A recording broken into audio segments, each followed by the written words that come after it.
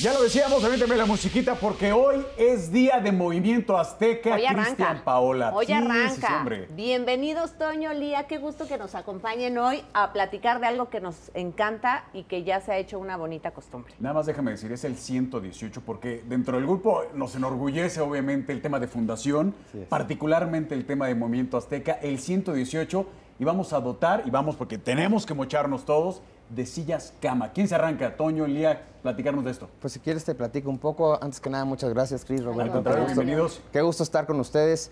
Pues les platico, sí, es el Movimiento Azteca 118 en favor de la Fundación IMSS, el octavo que hacemos ya con ellos y que gracias en general a, a la ciudadanía en estos ocho movimientos Azteca hemos logrado ya comprar 25 mil sillas cama. 25 mil sillas cama significa apoyar aproximadamente un poco más de mil familias. Han sido apoyadas por cada una de estas sillas cama. Y lo que representa cada silla cama es aproximadamente en su vida útil el apoyo a un millón de personas. Entonces, estamos hablando que con 25 mil sillas cama hemos apoyado a 25 millones de personas que han podido tener acompañamiento a sus familiares en los hospitales, que en promedio están hospitalizados seis días. Eh, y, y bueno, pues es, es una herramienta maravillosa y yo creo que es importante siempre ponernos la camiseta porque en cualquier momento nosotros podemos ir a acompañar a un ser querido y hace toda la diferencia. De acuerdo. Lía, le platicabas un poquito a Roberto, ¿cómo es que deciden a dónde se van estas sillas cama que la gente eh, dona con mucho, con mucho gusto?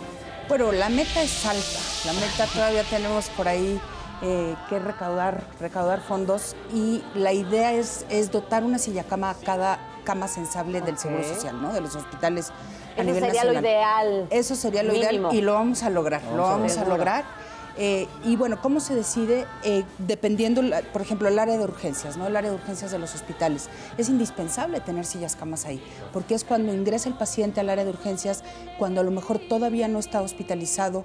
Y también tener una silla cama en las camas sensables. Es decir, el paciente, platicábamos hace un momento, el paciente tiene a los médicos, a las enfermeras, vamos, tiene quien lo atienda, pero realmente al cuidador primario, al familiar, al amigo, a quien lo va a cuidar, realmente no tiene nada. Entonces, esta silla cama puede, puede apoyar, inclusive está comprobado y lo hemos platicado ya con varios especialistas, que para el paciente sab- saber que su familiar tiene un descanso digno, tiene, tiene más, más paz, ¿no? Le da.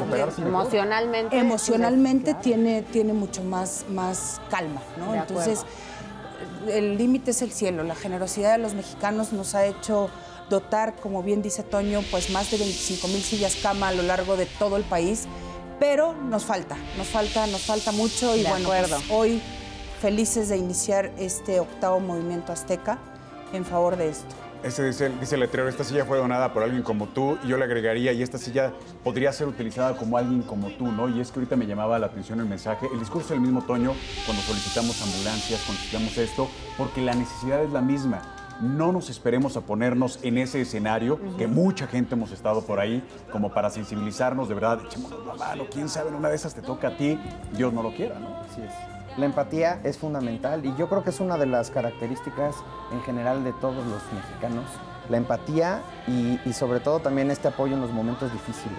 Los momentos difíciles los mexicanos siempre nos unimos, salimos adelante y, y bueno, todos sabemos que hay, que hay mucha gente que está pasando momentos difíciles hoy en el hospital, pues hay que solidarizarnos con ellos y hay que apoyar esta causa. Ahora, empieza hoy, pero tenemos hasta el 4 de septiembre para... Hasta, hasta el 5. hasta el 5. Hasta el 5 de Ok, ¿Y septiembre. cuánto podemos dar? Desde un peso. Lo que sea es bienvenido, la verdad.